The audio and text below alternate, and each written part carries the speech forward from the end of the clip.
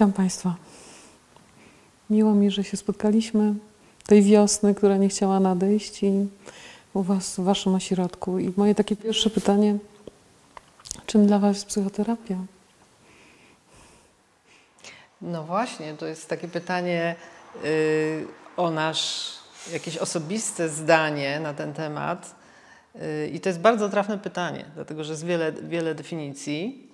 Yy, nawet wczoraj yy, znalazłam taką starożytną definicję kratochwila z lat 80. z pierwszej takiej książki o psychoterapii, gdzie było powiedziane, że to jest bardzo niejasne, bardzo w ogóle niejasne, tak? Gdzie kratofil pisząc książkę o psychoterapii mówi, że to jest bardzo niejasne, jak, jak nazwać psychoterapię. Ale na szczęście mamy 2021 i mamy definicję Polskiej Rady Psychoterapii z 2018 roku, na którą mogę się powołać, gdzie jest napisane, że psychoterapia jest psychologicznym oddziaływaniem e, w celu planowa- planowanym, zamierzonym, e, w celu zmniejszenia lub zlikwidowania objawów w zakresie zdrowia psychicznego lub poprawy funkcjonowania pacjenta w celu dążenia jednostki lub rodziny do zdrowia. Czyli jest wszystko. Nie ma tej medy- nie ma niejasności, jak było na początku myślenia o psychoterapii. Nie ma tej strony takiej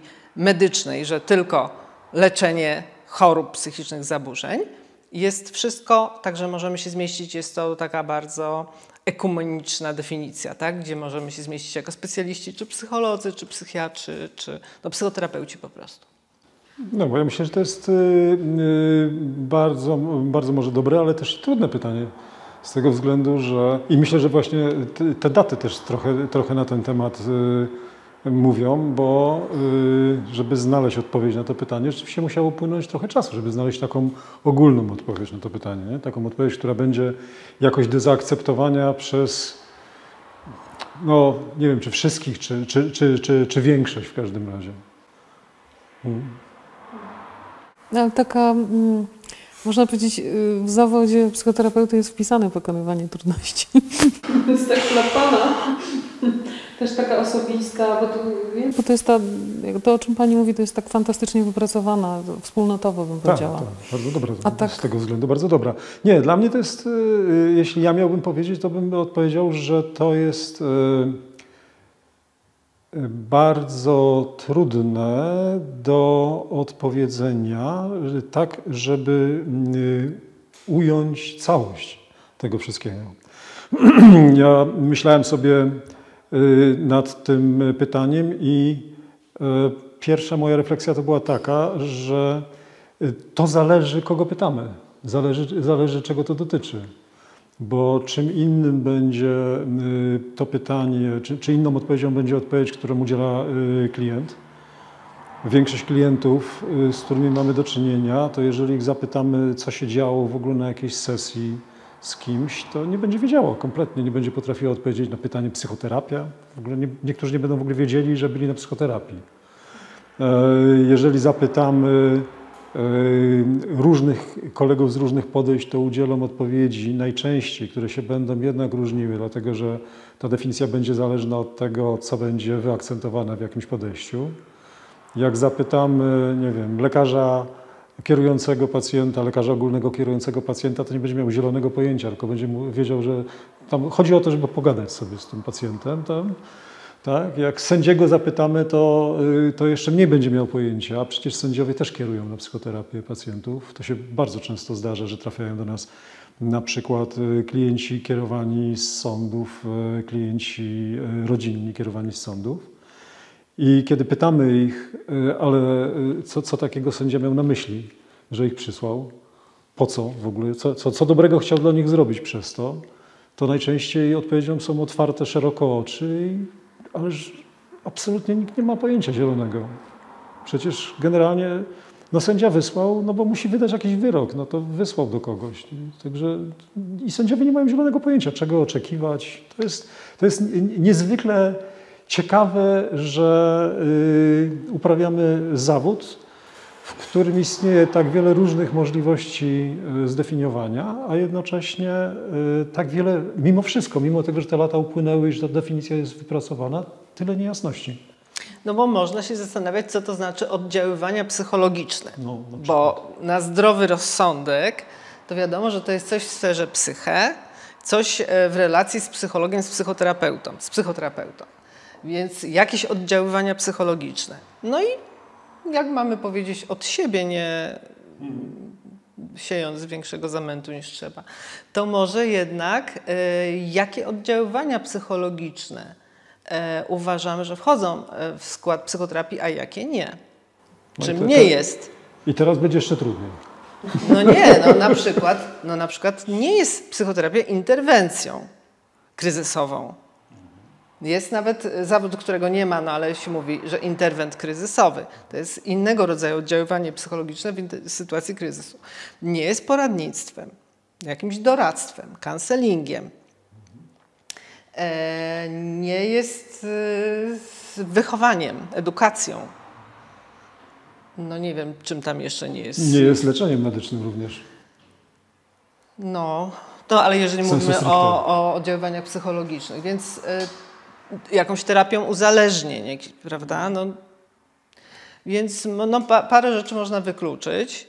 I co nam zostaje? No jakie oddziaływania? No oddziaływania w relacji, tak? Y, W spotkaniu z drugą osobą, która przychodzi y, w trudnej dla siebie sytuacji, której samodzielnie nie jest w stanie pokonać, utknęła, tak? W swoim życiu. Y, I naprawdę w naszym doświadczeniu to zawsze ktoś, kto przychodzi, e, sprawdził, że swoimi siłami, swoimi zasobami, także społecznymi, nie jest w stanie pójść do przodu, a chciałby, bo cierpi, chciałby coś zmienić na lepsze. No, także z tego punktu widzenia to y, podjęła Pani wysiłek rozmawiania z ludźmi pogranicza. Duże, tak jak, jak pacjent, tak mówi, że pacjent e, nie powie e, właściwie, co ma tu się dziać, często nie wyobraża sobie, co, co tu ma być, ale na pewno chce poprawy, chce ulgi, tak. tak. Czy w tym zmniejszenia objawów, jeżeli jakiś ma e, w samopoczuciu, ale też w takim poczuciu, że wiatr w, skrzy- w żagle, tak? To znaczy zazwyczaj, bo, bo jest jeszcze ta kategoria ludzi, którzy są kierowani i oni bardzo często, właśnie tak jak powiedziałem o tych sędziach na przykład, bardzo często po prostu nie mają zielonego pojęcia. No Co tak, ale może wyniknąć? też chcą mieć y, jakiś spokój, tak? y, Tak, s- tak. Chcą spełnić jakieś wymagania. Mm. Więc my mamy jakoś, jakoś w tym pomóc, sami nie wiedzą jak. Tak, oczywiście, że tak. bo takie dwa słowa słyszę, jak, jakby najbardziej wybrzmiewają y, spotkanie i cierpienie trochę, czy spotkanie i ulga. To, to dla, dla Państwa, co w tym spotkaniu jest takiego, mm, no nie wiem, niepowtarzalnego, y, takiego innego właśnie w tej psychoterapii, nie? którą prowadzicie już od lat. Innego w stosunku do? Do zwykłego po- spotkania dwojga ludzi. U.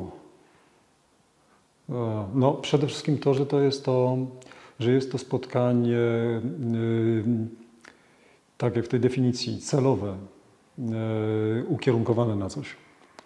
To jest pierwsza różnica moim zdaniem, pierwsza zasadnicza różnica, y, bo możemy mówić o tym, że jeżeli ludzie się spotykają, to też oddziaływują na siebie. Też jest to oddziaływanie psychologiczne w każdym spotkaniu, prawda?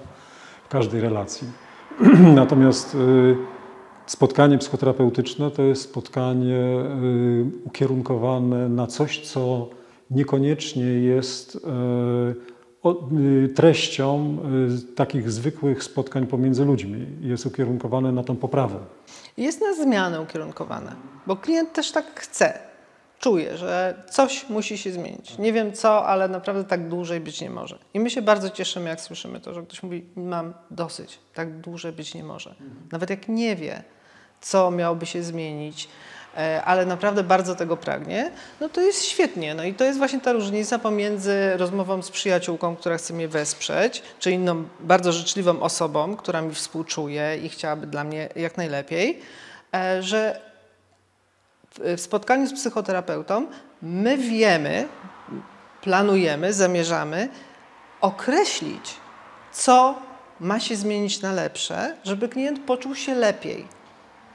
E, Tą ulgę w cierpieniu, czy po prostu poprawę funkcjonowania, poprawę nastroju, e, no, żeby poczuł, że flow, tak? Wiatr w żagle, a nie to, że, że gdzieś utknął, że gdzieś jest przy, przygnieciony, e, tkwi, tkwi w jakimś, jakimś punkcie niekorzystnym dla siebie. Więc to jest poszukiwanie wspólne tego celu, tego, co ma się zmienić, celu terapii.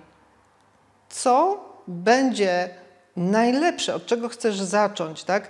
Albo co myślisz, że w wyniku terapii e, naprawdę będzie tą różnicą na plus, tą dobrą zmianą. I, I to jest istota, że koleżanka, przyjaciółka się nie zastanawia, no, co ty masz zmienić, tylko no, współczuje ci, może, może podzieli się jakimś swoim doświadczeniem, ale no, no nie jest to tak, że wspólnie mamy określić, a potem zmierzać do realizacji tego celu. Tak? Ten cel to jest, y, dla nas przynajmniej ten cel to jest jakby takie w zasadzie uzasadnienie czy uprawomocnienie tego, żebyśmy e, z kimś rozmawiali w ogóle. Dlatego, że y, no, tak naprawdę to dopiero wtedy, kiedy ludzie nam powiedzą, że chcą czegoś od nas, y, mamy prawo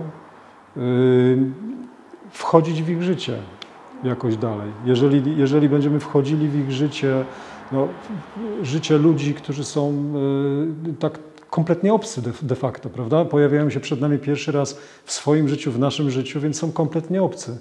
I jeżeli będziemy wchodzili w to życie bez tego zaproszenia, że chcą czegoś, chcą tej zmiany, to jesteśmy intruzami tak naprawdę w tym życiu. No, wpychamy się, nawet jeżeli mamy bardzo dobre intencje, nawet jeżeli mamy wielką wiedzę, to wpychamy się y, z, bez, bez zaproszenia żadnego. I y, ta kwestia właśnie tego celu jest dla nas niezwykle istotną rzeczą. Ale, I, I, nie mhm. jest łatwą. Mhm. Nie jest łatwą, ale, od, ale od, od tego dopiero ma szansę zacząć się zmiana, dlatego że klient musi wiedzieć, aha, to w takim razie tu muszę, tu coś muszę zmienić u siebie. I dochodzimy do tego, do, jaka to ma być zmiana. To jest zmiana wewnętrzna najpierw, tak? Więc to jest psyche, to jest ta sfera, w której się poruszamy. Pewna klientka kiedyś mi powiedziała, i to naprawdę było takie dla mnie wstrząsające doświadczenie, w pozytywnym tego słowa sensie. Powiedziała mi coś, coś takiego mniej więcej, że z samego faktu, że ktoś cierpi, jeszcze nic nie wynika. A z faktu, że nawet cierpi i mówi, że czegoś chce, też jeszcze niewiele wynika.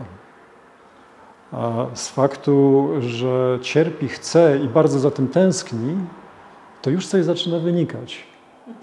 Ale tak naprawdę to, żeby zmiana się zdarzyła, to jest potrzebne to, żeby ktoś nie tylko cierpiał, nie tylko czegoś chciał, czegoś innego chciał, nie tylko za tym tęsknił, ale też, żeby wpadł na pomysł, co i zaczął to robić. I to jest, jak ja to usłyszałem, to pomyślałem sobie, Boże, jaka piękna definicja tego, co my robimy. Że to wszystko musi się zdarzyć naraz, żeby y, rzeczywiście coś się zdarzyło dobrego dla, dla człowieka. Nie tylko samo cierpienie. Samo cierpienie jest godne współczucia. Samo cierpienie jest zresztą straszną. Kiedy ludzie przychodzą i cierpią, to naprawdę ciężko jest patrzeć często. Ale dopiero wtedy, kiedy te wszystkie rzeczy uda się jakby krok po kroku zbudować, rozmawiając z ludźmi, oni są w stanie to zbudować, to wtedy mamy szansę na to, żeby, żeby pomyśleć sobie, że jest, jest dobrze, ten, ten człowiek coś dobrego zmieni w swoim życiu. Takie słyszę rzeczy, to później nie chcę mówić za bardzo, ale. To znaczy, za dużo powiedziałem. Nie, tylko y, myślę też o tej zmianie, w której y, jesteście Państwo zaproszeni jako, jako terapeuci i też mówicie klient. Tak? I tak, jak wtedy y, widzicie, to tak można powiedzieć, co należy do klienta, co należy do terapeuty nie? W, te, w tym działaniu, w tej, w tej współpracy, tak jak z Waszych doświadczeń. I też bym powiedziała, że to jest e, następna rzecz, która odróżnia e, psychoterapię profesjonalną od jakiejś życzliwej e, rozmowy wsparciowej. To, jak tutaj są podzielone role, odpowiedzialności, zakresy, prawda? W naszym podejściu krótkoterminowym, skoncentrowanym na rozwiązaniu, bardzo podkreślamy rolę partnerstwa w rozmowie i tego, że każdy jest ekspertem, i klient, i terapeuta. I teraz tylko w innych sprawach. E, klient jest ekspertem w sprawach swojego życia, swoich decyzji, co chce zmienić, tego, jakie kroki chce podjąć, o czym chce w ogóle rozmawiać z terapeutą w każdym momencie, e, jakich wyborów chce dokonywać, jakie działania chce podjąć. Naprawdę wszystkie decyzje, tempo zmiany, wszystko to jest w jego rękach.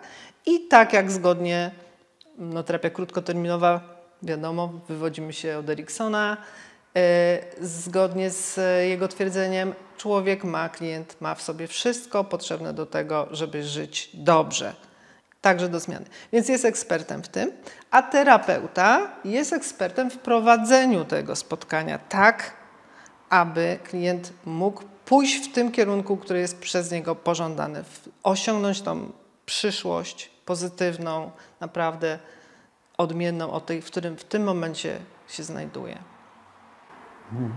I to jest, i to jest e, niezwykłe.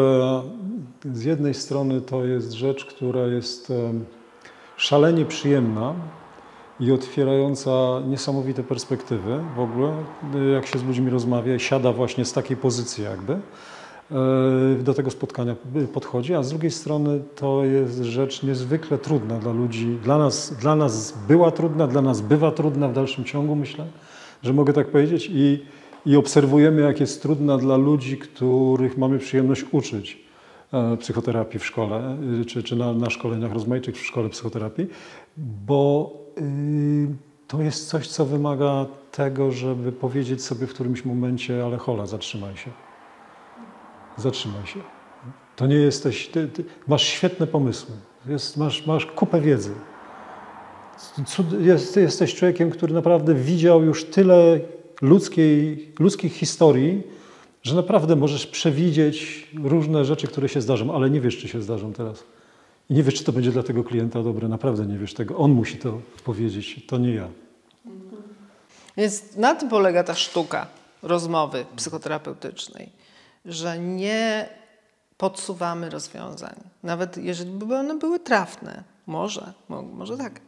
E, jest nieraz, trochę ja porównuję, nieraz takie trywialne może to jest porównanie, e, że terapeuta e, czasami wie już dwa kroki do przodu przed klientem, bo już no, z doświadczenia, no, no tak, w ogóle tak. już chciałby, tak? Chciałby go tak trochę ukierunkować, trochę popchnąć, trochę coś tam wskazać mu i oczekuję tego, że klient też będzie tego chciał. Zaraz, no to nie jest teleturniej, tak? Oglądasz teleturniej i siedząc wygodnie na swojej kanapie i wszystko wiesz. Ale ten, który odpowiada na pytania, niekoniecznie, prawda? Więc to jest trochę wygodnictwo byłoby z naszej strony, gdybyśmy my, nie mówiąc, że to jest naprawdę niepotrzebne, gdybyśmy my tutaj e, takie rzeczy czynili. Więc chodzi o to, aby klient stworzyć mu warunki do tego, żeby on sam ten krok do przodu zobaczył i podjął decyzję, czy, czy chce go wykonać. Najpierw go określił, tak?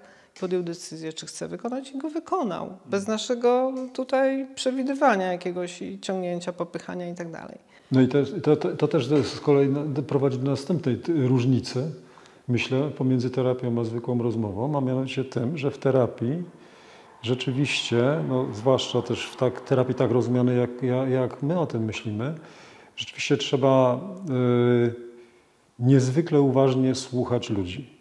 Bo kiedy spotykamy się z kimś, nie wiem, po tak po, potocznych spotkaniach, codziennych spotkaniach, na ulicy, w domu, ze znajomymi, przy lampce wina czy cokolwiek, y, to y, tak naprawdę możemy pomijać różne rzeczy, które ludzie mówią. Nie? Ktoś coś sobie opowiada, tam, a gdzie tam był, a tutaj, a, a, byłem w Egipcie, coś tam, a my już mamy na końcu języka, tak, tak, tak, ale ja byłem jeszcze gdzieś w takim miejscu i tam furda, co on mówi, to nieważne, co on mówi. Doczekamy tego, aż on weźmie oddech i wtedy jedziemy ze swoim. Tą swoją historią fantastyczną, która ma wszystkich zachwycić, a tutaj absolutnie nie ma, nie ma możliwości. My nie mamy niczego, czym mielibyśmy klienta zachwycać, tak? Tak. On, ma, on ma siebie zachwycić.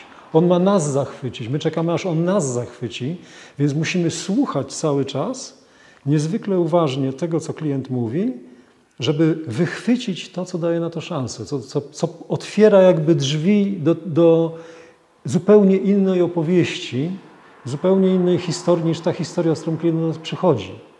Bo on przychodzi z, z tą właśnie z tą opowieścią pełną cierpienia. Tak?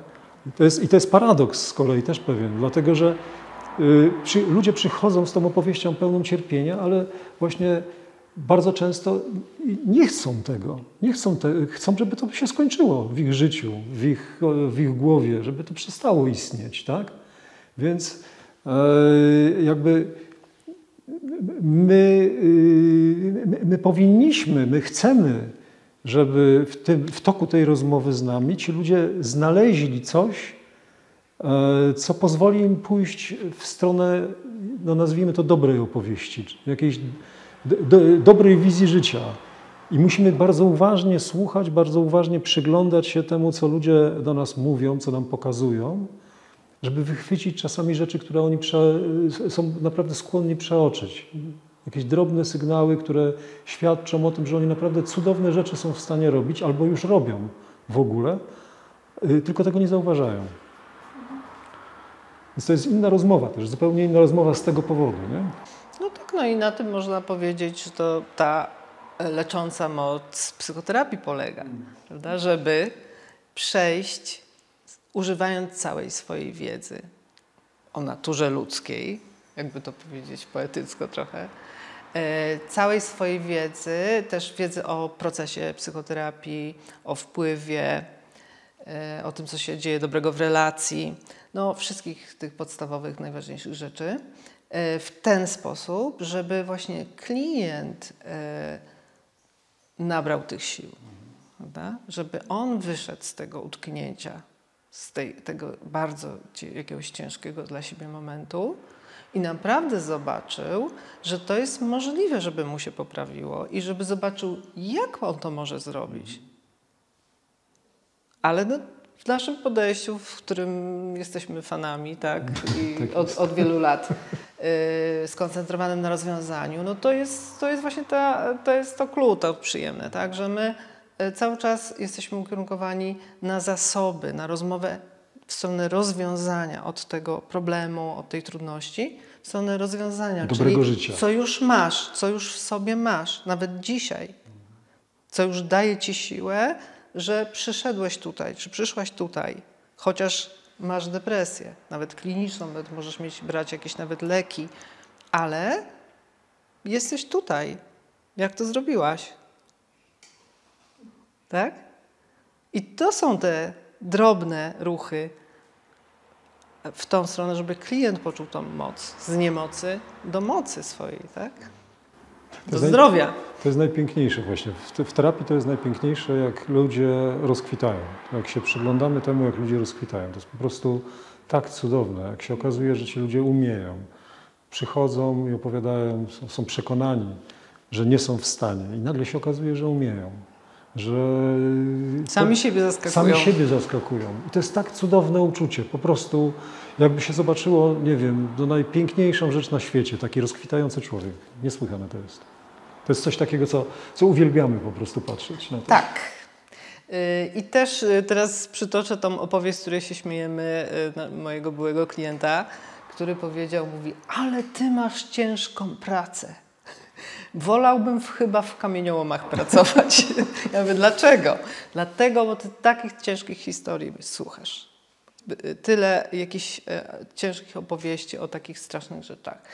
I e, tak, trzeba mieć na to gotowość.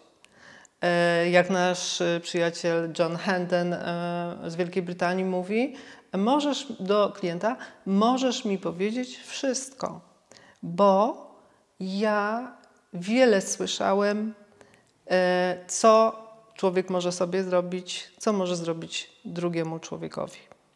Co się może nam w życiu przydarzyć. I możesz mi powiedzieć, nie bój się, ja to przyjmę dam radę. Tak? I to jest tak, musimy mieć taką gotowość. To nie jest zabawa. Bo jeżeli będziemy mówić o tym, że rozkwita, że jest ta nadzieja w nas, wierzymy w klienta i klient w siebie wierzy potem, idzie do przodu, to jest piękne. Natomiast często, może nie często, ale no naprawdę Zdarza się. Zdarza się. I trzeba mieć tą świadomość i gotowość na to i przygotowanie mentalne, psychiczne i profesjonalne. profesjonalne, żeby to przyjąć i w ogóle, żeby tak sobie to powiedzieć. Jestem tu po to, żeby przyjąć na siebie wszystko, z czym do mnie przyjdziesz.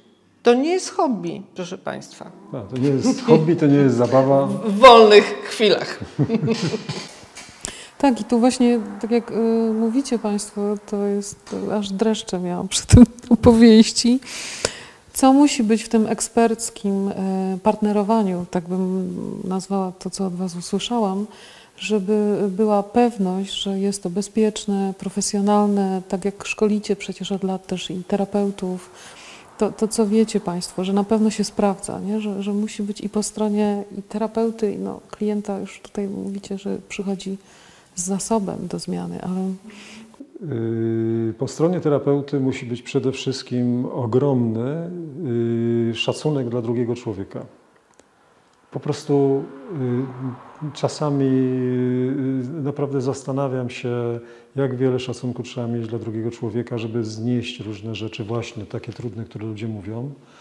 Bo czasami naprawdę słyszymy rzeczy, słyszymy rzeczy, wszyscy, wszyscy, wszyscy ludzie pracujący w tym zawodzie słyszą rzeczy, e, które są rzecz, rzeczami strasznymi i słyszymy to od ludzi, którzy przychodzą do nas po pomoc de facto. I to jest taki paradoks czasami. Przychodzą ludzie, którzy mówią o tym, pokazują nam to, jak krzywdzą innych ludzi i przychodzą po pomoc, przychodzą z bezradnością jakoś. Więc to nie jest tak, że ja mogę w tym momencie, nie wiem, pogrozić paluszkiem i powiedzieć, brzydko, nie wolno tak robić, jesteś obrzydliwy, odstręczający, wyjdź stąd. Tak? Ten człowiek przychodzi po pomoc... To się nazywa otwartość na inne punkty widzenia.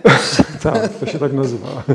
No, ale w każdym razie y, muszę, y, muszę naprawdę... Y, żeby, żeby wierzyć czasami, że ludzie, że ludzie mają w sobie to możliwość zmiany, to ten, ten pozytywny aspekt, tak, do którego będzie można się odwołać, trzeba ludzi ogromnie szanować. Nawet ja słyszałem kiedyś taką opinię, że trzeba ludzi kochać. To jest duże słowo, ja nie wiem czy... Lubić trzeba też. No, to może trzeba też lubić. W ogóle lubić. lubić. Tak, trzeba to, ludzi lubić. Naprawdę to ja, ja, zawsze, jak już zaczęliśmy ten wątek e, też szkolenia e, psychoterapeutów, e, jest, bardzo ważne jest, jak, jak ktoś przychodzi do nas zapisać się do szkoły psychoterapii, oprócz tego, że no, musi mieć studia kierunkowe, tak? No Psychologia, pedagogika, takie, tak. medycyna tak. i tak dalej.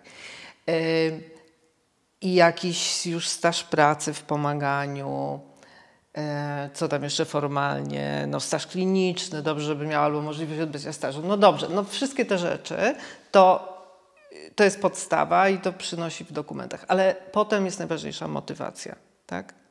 Czy ty wiesz, co chcesz uczynić? I co, co ty chcesz sobie zrobić? Co ty, chce, co ty chcesz osiągnąć? Co ty uważasz, że od dziecka marzyłeś, żeby pomagać innym, czy tam być psychoterapeutą? Co to w ogóle znaczy, prawda? Więc to jest jakby jakaś dojrzałość do tego, żeby także lubię ludzi, e, chcę się angażować e, w naprawdę bardzo w sprawy, ale nie wtrącać, nie decydować, otwarcie reagować na różne pomysły ludzi, ale chcę, chcę być blisko, chcę się nauczyć odpowiedniej bliskości, profesjonalnej, nie przekraczania granic, to jest cała etyka przecież, więc nie za bardzo, e, ale też nie za rolą, nie chowaj się, nie bądź gdzieś nad, prawda? Jakiegoś poświęcenia takiego pod tytułem, że e, twoje życie się zmieni na lepsze, oczywiście, jak będziesz psychoterapeutą, ale będzie się zmieniało i ciężar zmiany jest. Całe życie masz się uczyć, Y, bo po prostu wiedza nasza zmienia się co 8 lat podobno.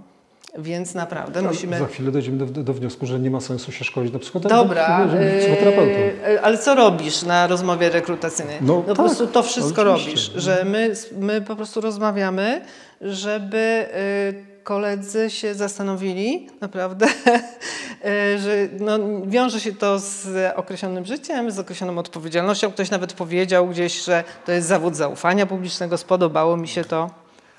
Dlaczego? Dlatego, że nie możesz siedzieć na tarasie, e, gdzie obok ma ktoś inny taras, przechodzą ludzie i pić codziennie piwa, ponieważ potem znajomy pyta się mnie, czy to jest ok, że pani czy pan taki, e, będąc psychoterapeutą, siedzi codziennie na tarasie i pije sobie piwko. Więc Lekka. ja na to mówię, no, no wiesz, nie wiem, tak coś zależy, tam coś tak, prawda? Jakie piwo pije? Nie, nie, no. Jakoś chciałam wybrnąć tak y, bokiem, ale no to było poważne pytanie, prawda? No więc no, to się troszeczkę tak zgadza z tym skojarzeniem, że to nie jest taki, Ludzie taki dowolny zawód. Taki, Ludzie nam trochę taki. No i też no, no, potem no jest wiele takich aspektów, że y, no, mamy pewne, to też to, ta różnica między y, psychoterapią a takim pomaganiem ludzkim, prawda, że no mamy dużo takich zasad etycznych, które regulują później nie tylko kontakt, kiedy jesteśmy w procesie psychoterapii, to jest oczywiste, jakie są tego granice i tak dalej, ale także po zakończeniu spotkań. Jak się zachować, jak ktoś nas widzi, nasz były klient w sklepie na przykład. Kto mówi komu pierwszy dzień dobry, czy w ogóle mówi. Jak się zachować, e, no nie, wiadomo, że no, ale no, no, na przykład no nie będę kogoś pytała, jak się pan czuje, tak? ale jak się zachować, kiedy ktoś do mnie podchodzi i mi opowiada ostatnie 10 lat swojego Tak, życia. takie przypadki też nam się zdarzały. Y, na Piotrkowskiej, jak idziesz ze znajomymi właśnie do kina. No więc, y, I jak prawda? tutaj wytłumaczyć znajomym, jak tą sytuację bo nie rozwiązać, chcemy, nie, chcemy się nie zachować, ujawnić. no, nie ujawnić niczego, ale to na przykład ktoś, to, to, jest autentyczny To przykład, autentyczny, prawda? Że ktoś jest tak otwarty, że nie przeszkadza mu, że jeszcze grupa znajomych oprócz dwójki terapeutów, która go zna, e, jednak będzie słuchała tej opowieści, jak mu się dobrze wiedzie, bo to była pozytywna wiadomość, ale, ale jednak no, dotyczyła tego, że był naszym byłym e, klientem. No więc jest wiele e, też takich zasad, e, no, które pomagają potem się zachować odpowiednio, tak żeby nikogo nie urazić. No, tak, No one ale są- też, też wiążą się, z- że, że to jakoś się, mimo że już się nie w tej roli po, po jakimś czasie od spotkania z klientem, no to jednak no, trochę o tym trzeba pamiętać. Ale one są związane z tym właśnie, że y, y, jakby no, ciąży y, na nas, tak? na nas jako na ludziach, nie tylko na nas personalnie, ale na ludziach, którzy ten zawód wykonują, ciąży pewna odpowiedzialność. Ciąży pewna odpowiedzialność w, stosunku do tych ludzi, którzy nam zaufali albo którzy nam mogą zaufać. Tak? W związku z tym no, to nie jest taka, i, te, i ta odpowiedzialność nie jest prosta, w sensie takim, że y, ty powiedziałeś o tych kodeksach etycznych. Te kodeksy etyczne, fajna rzecz, ale tak naprawdę y, nie da się wszystkiego opisać w kodeksie etycznym. No, mamy tutaj nawet kodeksów prawnych, mamy tam chyba trzy albo cztery kodeksy prawne opasłe mamy wymyślone w tym pięknym kraju nad Wisłą, a do tego istnieje nie wiem jaka wielka biblioteka, bo na pewno przekraczająca kilkaset razy przynajmniej objętość tych kodeksów, biblioteka tłumaczeń, jakiejś interpretacji. Nie? Dopiero dzięki tym tłumaczeniom okazuje się, co te poszczególne przepisy w konkretnych sytuacjach znaczą. I tutaj jest podobnie. No, mamy te kodeksy swoje etyczne, ale no, i tak będą rozmaite sytuacje, i tak trzeba Które są trudne się. oczywiście, Tak. ale y, Więc po- trzeba, poczekaj, do, do, dokończę, bo trzeba, trzeba z tego względu właśnie y, jakby też kierować się tym szacunkiem tak, wobec ludzi, ty, tym, tym lubieniem ludzi, myśleniem o tym, że jesteśmy po to, żeby, żeby nie wiem, stwarzać coś dobrego w życiu tych ludzi. I to ma wiele wymiarów, ogromną ilość wymiarów. Za długo mówiliśmy, żadnych pytań. Nie, są, są, czekam na Hmm. takie... y, hmm. Ja to nazywam lekcją pokory trochę, bo, bo to się nie da przejść w tej pracy tego, nie? Mhm. takiej nauki.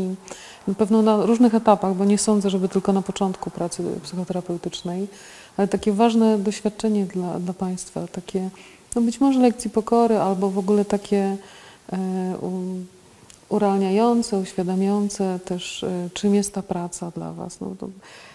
I pewno nie jedno, ale tak jakby, które teraz przychodzi do głowy najbardziej. Kto pierwszy? No ja już trochę o, przypominałam sobie, tak? Y, bo takie pierwsze, y, pierwsze jakieś y, doświadczenia się najbardziej pamięta, takie najbardziej uderzające może. A jednocześnie ja pamiętam przynajmniej takie, które no, spotykały mnie ze strony klientów albo zaskakiwały mnie, prawda? Wydawa taka jakoś weryfikowały moje dobre samopoczucie jako młodego psychologa na przykład, rozpoczynającego przygodę z terapią. I pamiętam y, właśnie w oddziale odwykowym, jak pracowałam z klientami, y, kiedy naprawdę oni niespecjalnie rozumieli, y, co my proponujemy w ramach terapii, bo to też chyba nie było specjalnie dopasowane. To były jakieś nasze takie pomysły młodych psychologów gdzieś zaczęliśmy dopiero uczyć terapii uzależnień, bo, bo to, to były lata takie 80. I, I naprawdę konfrontacja z klientem, który przychodzi do mnie po latach, zapisać się na, po latach od, od leczenia w oddziale odwykowym, zapisać się na obóz terapeutyczny z rodzinami, który mi potem mówi, że za bardzo mu leczenie nie pomogło. On już nie pije jakiś czas dłuższy.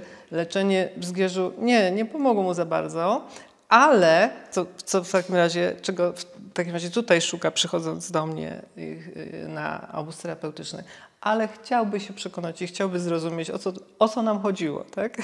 w tej terapii.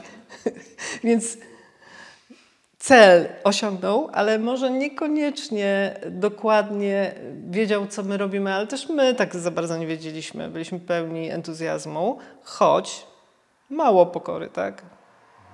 Entuzjazm młodzieży fajny był, ale też takie przekonanie, że my wiemy, co robimy, okazuje się po latach, że niekoniecznie wiedzieliśmy. Niektórym entuzjazm, zaangażowanie, chęci młodych terapeutów trochę pomogły, ale bez przesady, tak? To jest właśnie to, że potem widzimy, że nie, to nie jest tak, że nam się wydaje, że osoba terapeuty tak wiele może zmienić, jakieś specjalne jego oddziaływania i tak dalej. Czasami nawet klient y, może, mo, może tego nie nazwać, nawet tego nie może, może nie czuć, choć my wiemy, że to mogło mu pomóc, ale też usłyszenie tego, nie, że on potem powie, a, terapia. No tak, no tak, rzeczywiście, ale niekoniecznie. Więc to jest fajne, nie? Tu się napracowałeś. Wydaje ci się, że to coś pomogło. Jest, jest, jest, dużo takich sytuacji. Rzeczywiście, ja, ja bym powiedział, że takie sytuacje się zdarzały od gdzieś tam od początku pracy, mojej przynajmniej. No, w, w, moich początkach pracy to ja bym powiedział, że właśnie a propos tej, tej, tej um, z bólem to powiem pychy terapeutycznej, jaki to jestem ważny właśnie, jaki to jestem mądry, jak ja strasznie na pewno wszystkim pomagam. Pewnie nie zauważałem wielu takich sytuacji też, e, ale y, chwalić Boga trafiałem na klientów, którzy zdołali się do mnie przebić i bardzo boleśnie czasami uświadomić mi y, tak naprawdę, co ja y, potrafię i co ja, co ja, jak mało ja robię dla nich. E, bo tacy, tacy ludzie, którzy to robili, przecież byli. Byli też ludzie, którzy, no bo przecież to też jest jeden z takich elementów zachowań czasami ludzkich, trochę takie próbowanie, e, wystawianie na próbę kogoś ważnego, żeby się przekonać choćby o, to, y, o tym, czy możemy mu zaufać, to stawiamy go przed rozmaitymi wyzwaniami. No, no, najprościej byłoby powiedzieć, że robią tak dzieci, ale dorośli też tak robią. Więc czasami zdarzało się też usłyszeć coś, coś, coś trudnego, co, co było tak, miało taki wymiar i potem dopiero po jakimś czasie dowiadywałem się, że nie, nie, to było specjalnie powiedziane, żeby się przekonać, czy można ze mną rozmawiać, czy ja to zniosę. Ale też bym powiedział o drugim aspekcie, to taki, jakoś też tak trochę, żeby zaznaczyć bardziej, może w tym, co, co ty powiedziałeś, bo też to było. E, ta, le, ta lekcja pokory y, dotyczy też tego, że przekonujemy się, jak wiele dobrego ludzie robią dla siebie. Jest, to jest niesłychane, jak wiele dobrego, wiele, wiele mądrych rzeczy, wiele rzeczy y, niezależnych od wydawałoby się niezwykle trudnych okoliczności ludzie robią dla siebie. Ja, ja mogę powiedzieć z kolei, ty powiedziałaś o, o, ta, o tamtej sytuacji z oddziału, ja mogę powiedzieć o takiej sytuacji z praktyki swojej prywatnej, gdzie pracowałem z panią, która była, żyła w strasznie trudnych warunkach. W warunkach, bym powiedział, skrajnej nędzy. W tym pięknym kraju żyła w warunkach skrajnej nędzy i ona odkładała sobie pieniążki, tak jak mogła, żeby od czasu do czasu przyjechać do mnie i porozmawiać o swoim życiu, przyjechać na psychoterapię, ktoś taki, bez żadnej pomocy, z żadnej, nie wiem, ośrodka pomocy społecznego, rodziny, nikogo takiego. I opowiadałam, przyjeżdżała i opowiadała mi o tym, jak ona zmienia to swoje życie na lepsze. To jest coś takiego, co, co właśnie daje tyle, tyle jakiejś takiej, takiej, tak, takiego, ta, takiej siły, kiedy przygląda się, kiedy ja się przyglądałem temu, jak ona pojawiała się u mnie raz na kilka miesięcy, no bo przecież nie mogło inaczej. Nie miała pieniędzy nawet na to, no, żeby, ponieważ nie, miała aż, nie mogła aż tyle y, uskładać, a przyjeżdżała spoza Łodzi, to nie miała pieniędzy na bilet. Ona szła do Łodzi, żeby się ze mną spotkać. Jak się spotyka, człowiek spotyka z taką motywacją, z taką chęcią zmiany czegoś, do, czegoś u siebie, jak słyszałem, ile ona dobrego robiła w tych przerwach dla siebie, mimo wszystko, mimo tego, że tak ciężko jej życie wyglądało, no to to jest po prostu coś tak, tak, tak, tak zachwycającego, że to też wiele uczy. To też, jest, to też jest trudne doświadczenie do jakby takiego zakumulowania, że coś tak, to, tak życie może wyglądać, ale zachwycającego doświadczenia, że, że człowiek potrafi tyle dobrego zrobić mimo wszystko. No bo my generalnie szukamy dobrych rzeczy, to też jest taka nasza wada. My szukamy dobrych rzeczy cały czas w, tych, w tym, co, co ludzie nam opowiadają i w ludziach. Staramy się znaleźć jak najwięcej dobrego.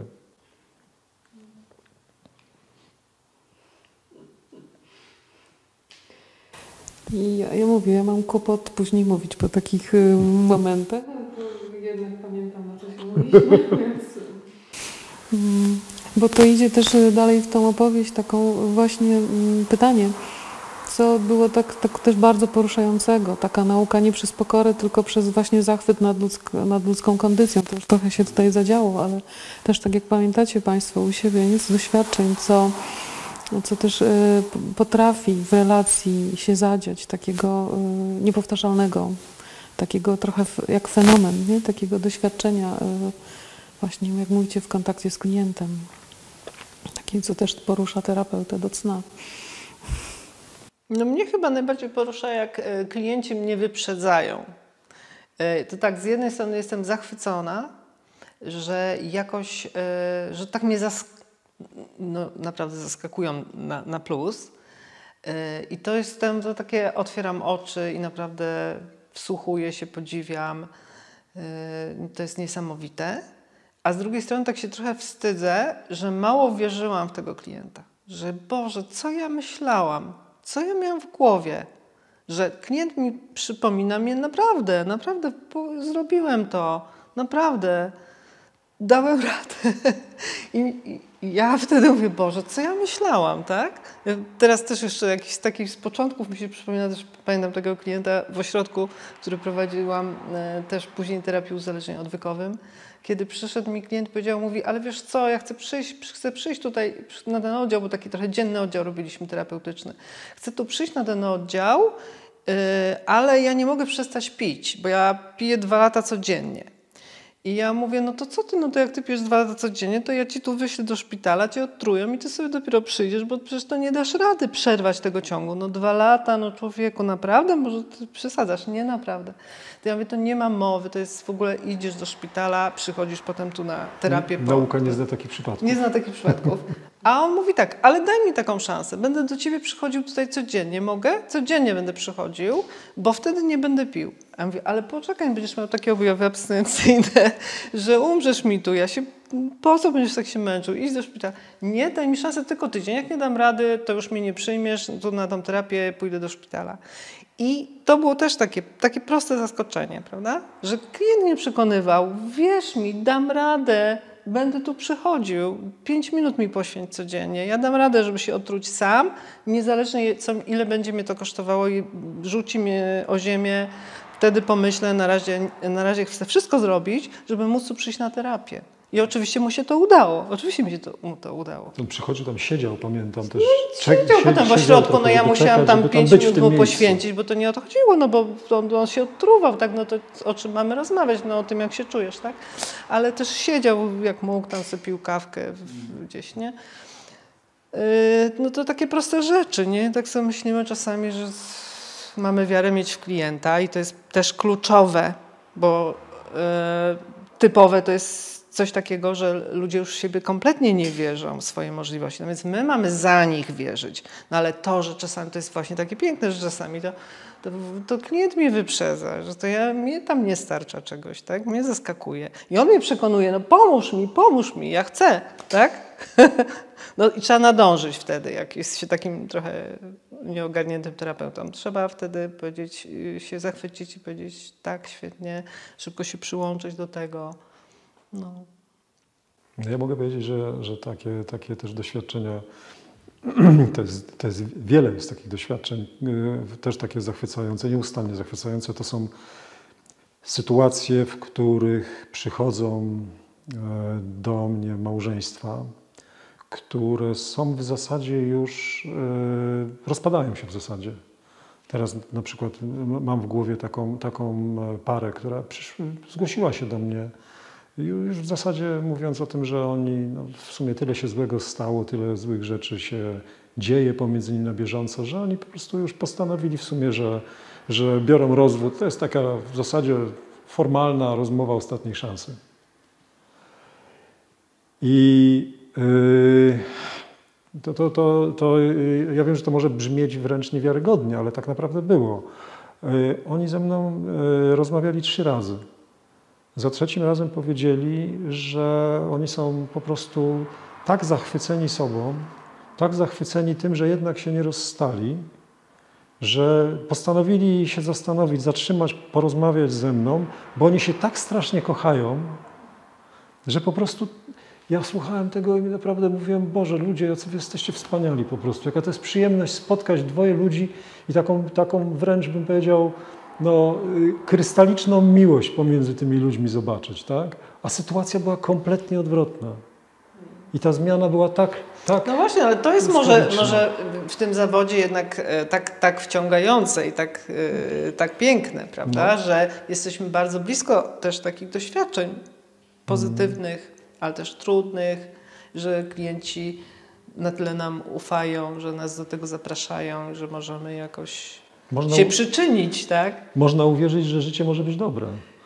I to jest przyjemne. No i, jest, i jesteśmy, w, jesteśmy także zgodnie z tymi badaniami jakimiś statystycznymi, że kto jest najbardziej, to w Polsce takie badania słyszałam, kto jest, jakie grupy zawodowe są najbardziej zadowolone z swojej pracy. Więc oczywiście nauczyciele są gdzieś, właśnie psycholodzy, lekarze, yy, no te grupy, które są zaangażowane w pomoc, w kontakt, prawda? nauczyciele, no, jesteśmy zdziwieni, że cały czas wiemy, jakim jest trudno y, funkcjonować osobiście życiowo, tak. Ale właśnie to, no, że jesteśmy w, w takim kontakcie, tak blisko ludzi. Widzą przemianę. Oni też widzą przemianę Mhm. u wielu ludzi. Tak subtelnie i, i, i tak też y, mówicie Państwo o szkole, którą preferujecie chyba od lat y, i o terapii y, skoncentrowanej na rozwiązaniu. Powiecie coś więcej, co Was tak wciągnęło w to? A, co nas ciągnęło? Co Was tak w ogóle zaprosiło? No bo to jest wiele, wiele lat i Wy też to jesteście takimi osobami, które to zaprosiły tutaj. To To powiedz, co Ciebie zaprosiło.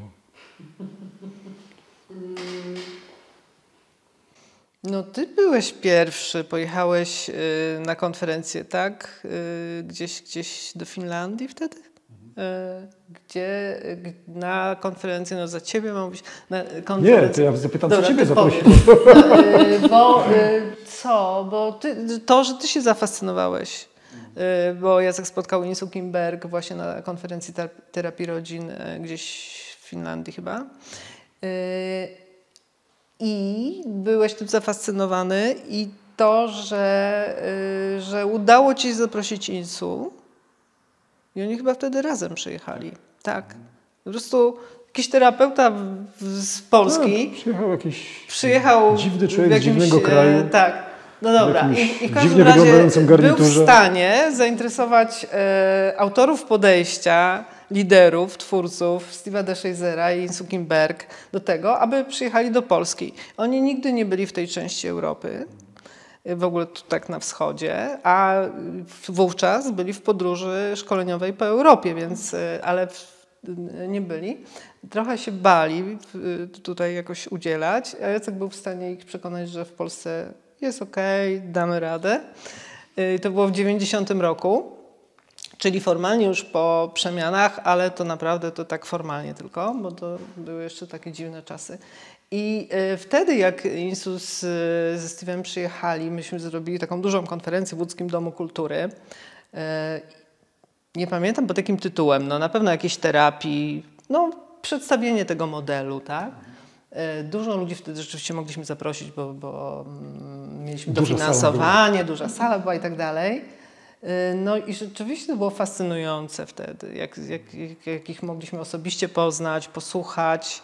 E, To, że oni w ogóle da, przyjechali dla nas, e, jak tak charytatywnie oczywiście, Y, Też kontakt z nimi taki osobisty, bo też oni mieli takie mm, y, chęci, że jak już się zdecydowali przyjechać tutaj, do takiego kraju, no to nie chcieli tylko być w eleganckim hotelu, ale chcieli też zobaczyć, jak para psychologów y, żyje i mieszka. I bardzo tak my się trochę wstydziliśmy, no ale jednak zaprosiliśmy i tam do tego mieszkania, w którym mieszkaliśmy, na jakąś kolację.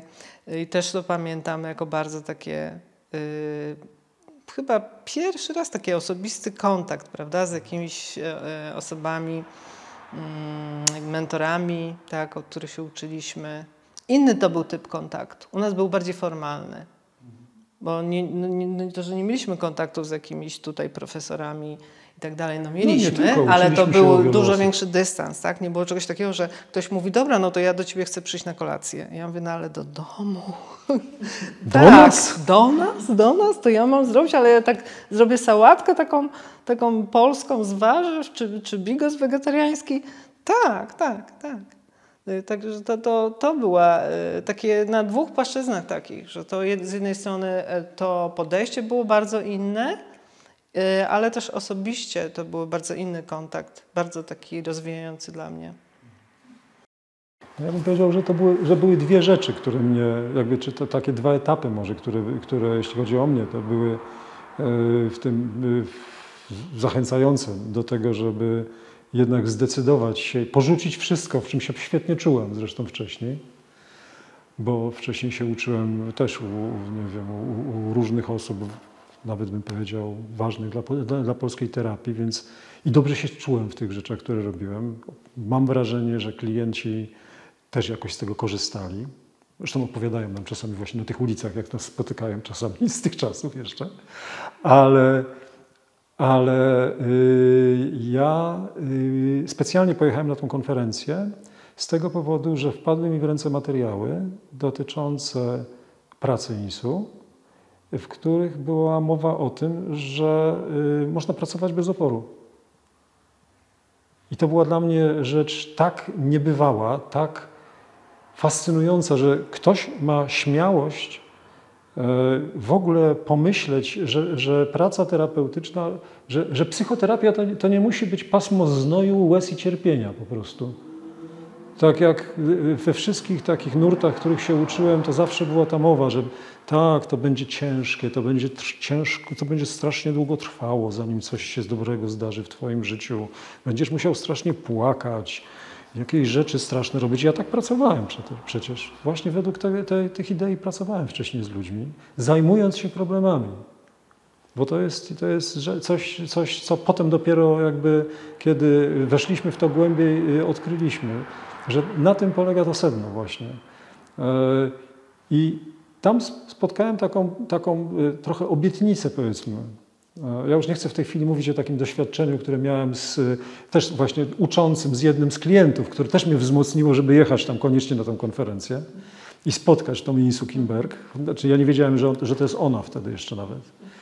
Yy, I, i to, to była pierwsza rzecz, taka, która mnie zafascynowała, że, mo, że terapia, taka obietnica, że terapia może być, yy, yy, trwać krótko i nie, nie musi być związana z cierpieniem, z bólem i cierpieniem.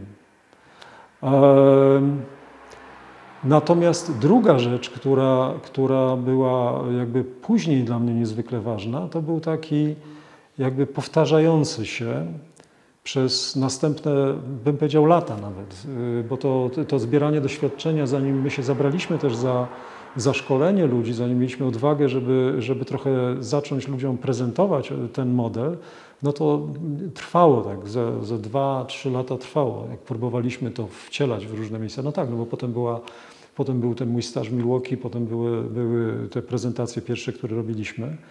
Ale na początku też tak jakby pró- próbowaliśmy tego w, swoim, w swojej własnej pracy z, z klientami. Wtedy jeszcze o nich mówiliśmy pacjentami. I okazywało się, że to rzeczywiście działa. Że, że ludzie mogą być szczęśliwi znacznie szybciej, znacznie prościej, że my możemy być zadowoleni z tej pracy. No to po prostu było cudowne, takie samo nakręcające się kółko, taka samospełniająca się pozytywna przepowiednia, że będzie dobrze. I to było coś takiego, co, no już, co, po prostu wessało mnie. Tak? Także wessało mi beznadziejnie, teraz lecę tam cały czas dalej. tak, bo cały czas mimo tego, że, że te lata upłynęły, no bo przecież to jest kawał czasu już, nie?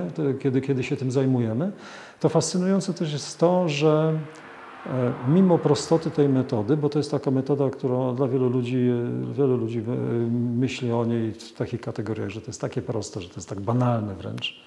Ale okazuje się, że za każdym razem jest jakby następny niuans, za każdym rogiem jest następny taki aspekt, który nam wcześniej do głowy nie przyszedł w ogóle. I to jest ciągłe takie odkrywanie takiego, ta- takiego piękna, takie wpatrywanie się w jakiś taki cudowny obraz, jeśli mógłbym tak metaforycznie powiedzieć, taki cudowny obraz, który już kiedyś przegalopowaliśmy koło niego, ale jeszcze wracamy do niego, bo jeszcze tam był taki detal. I teraz idziemy ten detal obejrzeć i Boże, ale tam się okazuje, to nie była jakaś kropka, to była cała taka miniaturowa twarzyczka jakiegoś dziecka gdzieś tam narysowana i to wszystko zmienia. To jest coś takiego, co jest jakby też niezwykle zachęcające i, i, i pociągające w, tym, w tej pracy dla mnie.